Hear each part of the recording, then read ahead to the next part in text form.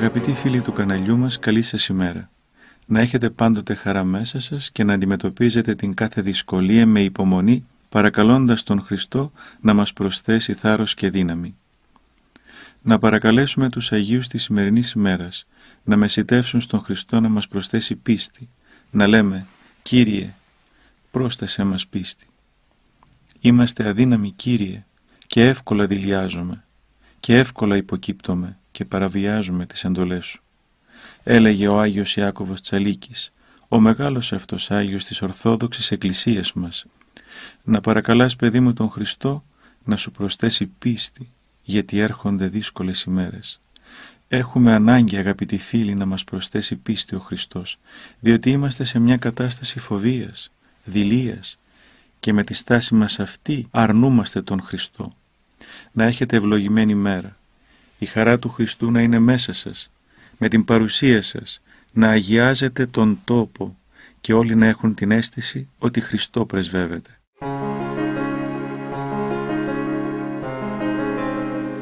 Σήμερα, 15 Φεβρουαρίου, η Εκκλησία μας εορτάζει την μνήμη του Οσίου Ανθίμου του Βαγιάνου, του Ενχείου.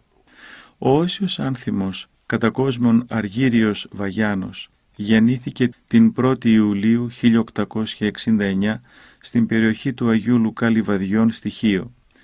Οι ευσεβείς και ενάρετοι γονείς του, Κωνσταντίνος και Αργυρό, φρόντισαν να δώσουν χριστιανική αγωγή στο τέκνο τους.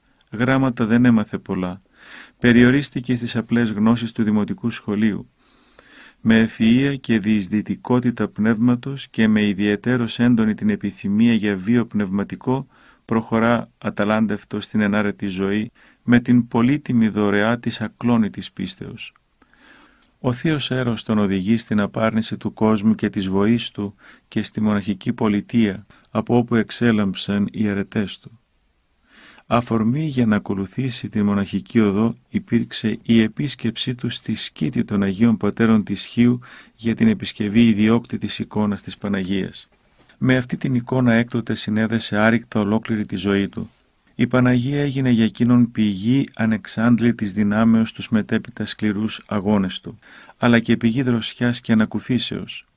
Ο οδηγός στον ασκητικό βίο υπήρξε ο Σεβάσμιος γέροντας της σκήτης Παχώμιος, από τον οποίο εκάρει μικρόσχημος μοναχός και μετονομάστηκε Άνθιμος.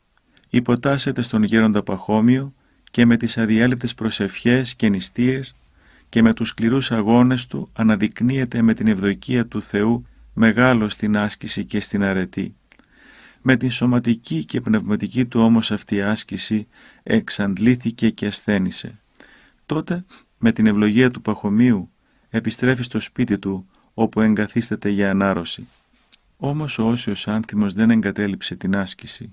Μόλις αποκαταστάθηκε μερικώς η υγεία του, αποσύρθηκε σε μικρό απομονωμένο κελί μέσα στα πατρικά του κτήματα στα λιβάδια της Χίου, συνεχίζοντας τους πνευματικούς του αγώνες. Εκεί μόναζε ασκώντας ταυτοχρόνως και την τέχνη του υποδηματοποιού, για να βοηθά τους φτωχούς γονείς του και να ελεεί τους πάσχοντες. Στο κελί του αυτό με την αδιάλειπτη προσευχή και την μελέτη του βίου μεγάλων ασκητών λάμβανε δύναμη προέκοπτε σε πνευματική οικοδομή, αλλά και προκαλούσε και την δαιμονιώδη λύσα του πονηρού. Ο Όσιος αγωνιζόταν σκληρά και αποτελεσματικά. Διεξήγαγε πολυμέτωπους αλλά νικηφόρους αγώνες κατά του πονηρού με την πύρινη προσευχή και καθημερινά ανερχόταν στην ευλογημένη κλίμακα των αρετών και της αγιότητας. Αργότερα σε ηλικία 40 ετών, το έτος 1909, κήρεται μεγαλόσχημος μοναχός από τον διάδοχο του Παχωμίου ιερομόναχο Ανδρώνικο. Ο ενάρετος όμως ασκητής άνθιμος ήταν σκεύος εκλογής και έτοιμος για το αξίωμα της ιεροσύνης. Καλείται λοιπόν στο αδραμίτιο της Μικράς Ασίας από τον ανάδοχό του Στέφανο Διωματάρη του 1910 για τον σκοπό αυτό. Όσο καιρό παρέμενε στο αδραμίτιο, ακτινοβολούσε εκθαμβωτικά με την αρετή της αγιότητάς του, η οποία ίσχυσε ακόμη να θεραπεύσει και δαιμονιζόμενο της περιοχής, κάτι που δεν κατόρθωσαν οι συλλειτουργοί του.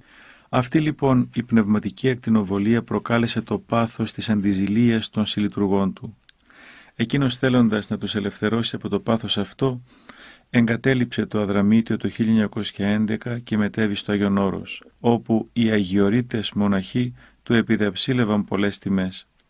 Επιστρέψα στην Χίο, τοποθετήθηκε ως εφημέριο στο λεπροκομείο. Εκεί άνοιξε το νέο στάδιο των αρετών και της αγαθορεγού δράσεώς του.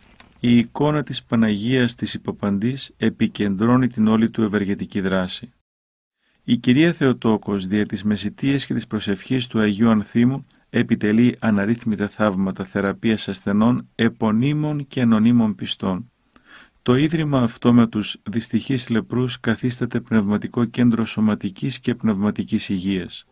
Η όλη διακονία του στο λεπροκομείο καταδεικνύει τη βαθύτατη πίστη του και την πολύτιμη προσφορά του. Εδώ φαίνεται και το μεγαλείο του Αγίου. Ο Άγιος Άνθιμος ως εφημέριος του ναού συμβαρευρισκόταν, συνέτρωγε και συνομιλούσε με τους λεπρούς, τους κοινωνούσε των αχράντων μυστηρίων και μετά τη Θεία Λειτουργία κατέλειε.